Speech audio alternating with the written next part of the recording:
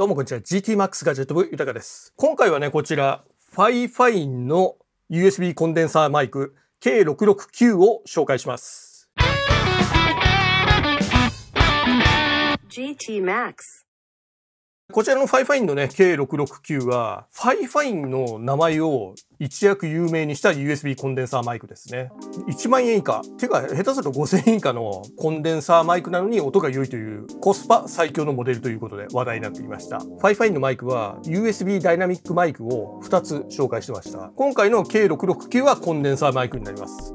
まあ、どんな感じかね、気になるので、早速開封してみましょう。それでは早速開封してみましょう。開けるとこんな感じになります。まずはこの取り扱い説明書が入ってました。ちゃんと日本語対応になってますね。で、これを取り外すと、じゃんと。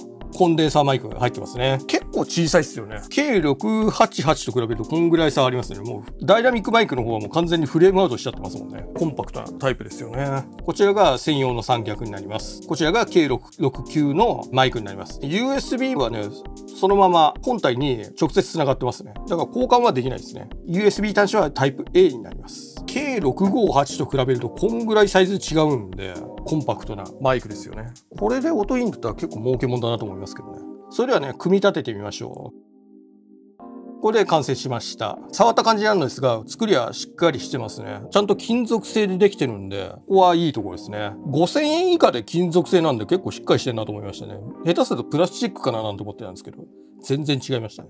ちゃんとしたマイクですね。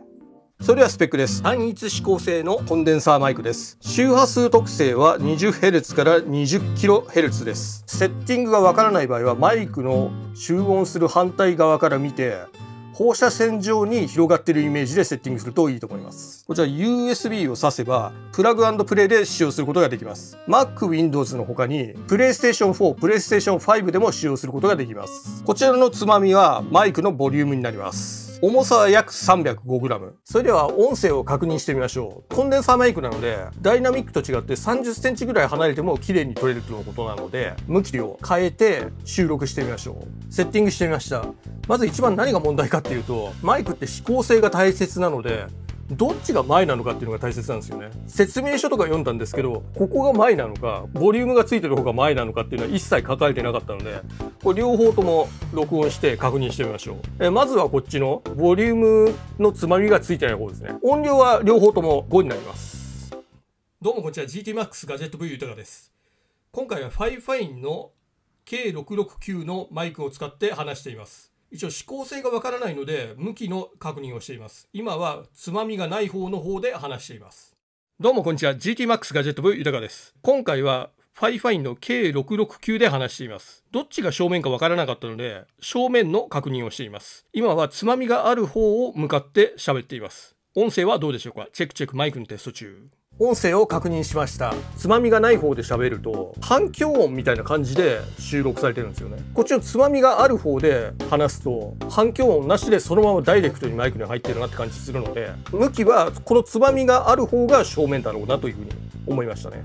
では次に音量を変えて話してみましょう。それではつまみを9時方向にして話してみます。どうもこんにちは。GTMAX ガジェット V 豊です。今回は FIFINE の K669 のマイクで話しています。音量は9時の方向です。音はどうでしょうか？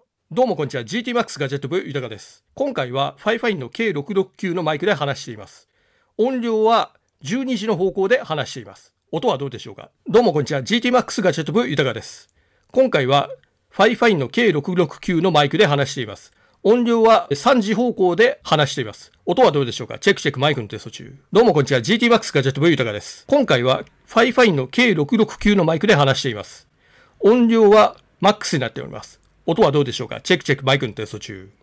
え音量の確認をしてみました。12時方向より上に上げると音割れ始めてるんでつまみを真ん中より上にするっていうのはやめといた方がいいと思いますね。僕は個人的には9時方向で撮って後で音量を上げるっていうような作業をした方が音はいいかなというふうに思いましたね。だからそんなにつまみは上げる必要ないですね。ただ配信でリアルタイムでやってる場合はもうちょい上げてもいいかなというふうに思いますね。それでは FIFINE の USB ダイナミックマイク K658 と比べてみましょう。どうもこんにちは。GTMAX ガジェット部豊です。今回は FIFINE の USB ダイナミックマイク K658 のマイクで話しています。音量は12時方向で話しています音はどうでしょうか？チェックチェックマイクのテスト中どうもこんにちは GTMAX ガジェット部豊です今回は FIFINE の K669 のマイクで話しています音量は12時の方向で話しています音はどうでしょうか？K658 と K669 のマイクの音を確認しました。まず K658 なんですけど、聞いていただいた通り、右チャンネルからしか音出ないんですよ。これは下手すると Mac だけの可能性あるんですよね。Mac の中に入っている Core Audio っていうのがそういう仕様になってるみたいで例えばね2チャンネルのオーディオインターフェースだと1チャン2チャンに分かれてるんですけど右固定左固定みたいな感じになってそれが変えられないとかっていうの結構あるんですよねまあこれはもう完全にコアオーディオの問題なんで Windows だとこの現象なくなる可能性あります僕はもう右チャンネルに偏るって分かってるんで音を編集する時にモノラルにして真ん中から出るようにいつもね、編集してるんですよね。Amazon のセールの動画なんか聞いていただくと、ちゃんと真ん中から出てるのは、これは音声の処理をしてるからですね。音なんですけど、意外と一人で喋るんだったらこっちの K658 の方がピンポイントで音が取ってくれるんでいいなとは思いましたね。K669 の方は人の声だけじゃなくてもうちょっとその環境の音とかそういう周囲の音とかも拾うんですよね。だから逆に言うと2人とか3人とかで話してる場合はこっちの K669 で集音した方が綺麗に取れる可能性はありますね。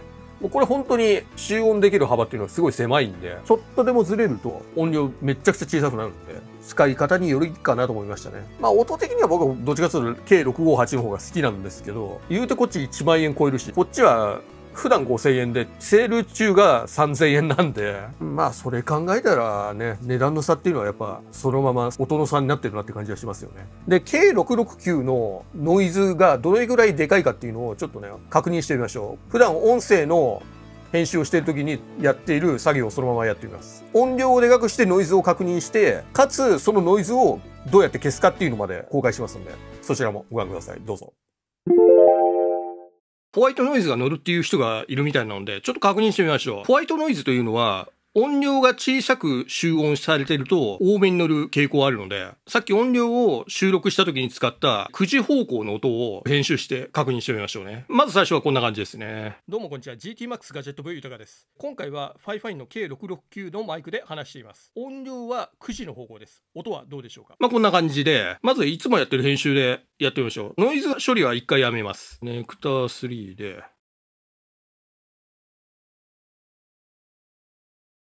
まずは、 Nectar 3をかけた音を聞いてください。どうもこんにちは。GTMAX ガジェット V 豊です。今回は、 FIFINE の K669 のマイクで話しています。音量は9時の方向です。音はどうでしょうか？ソリッドステートロジックの X バルブコンプをかけた音を聞いてください。どうもこんにちは。GTMAX ガジェット V 豊です。今回は、 FIFINE の K669 のマイクで話しています。音量は9時の方向です。音はどうでしょうか？で、これで、最後に Ozone をかけると。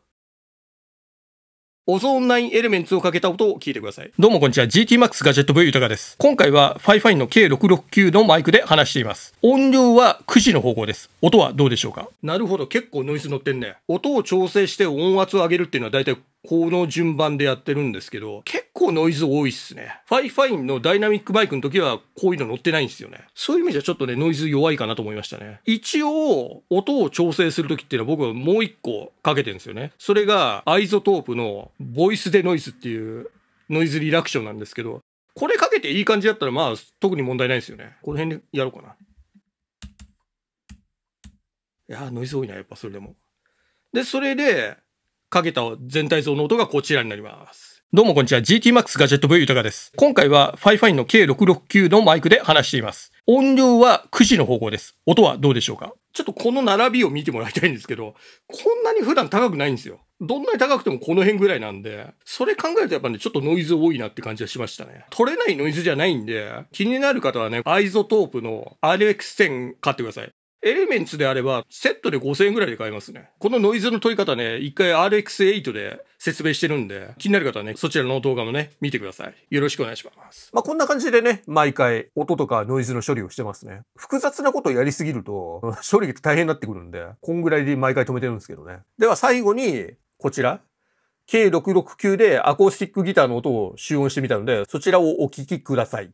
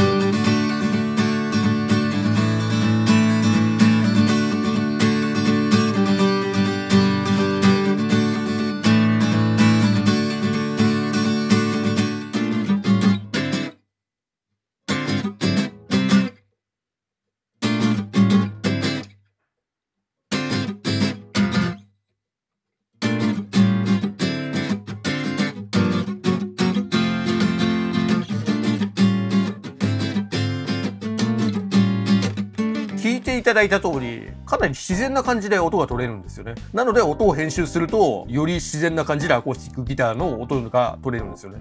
これやっぱね、安くてもさすがコンデンサーマイクだなというふうに思いました。さっき見ていただいた K658 とか、あと他の K668 だと、ここまでね、自然ではないんですよね。やっぱちょっと音が硬いなとか、不自然だなっていう、そういうところはありましたね。アコースティックギターでもいい音取れるんじゃないかなと思いますね。ぴっちりセッティングしたわけじゃなくて、ふわっと撮ってみたんですけど、結構いい感じでしたね。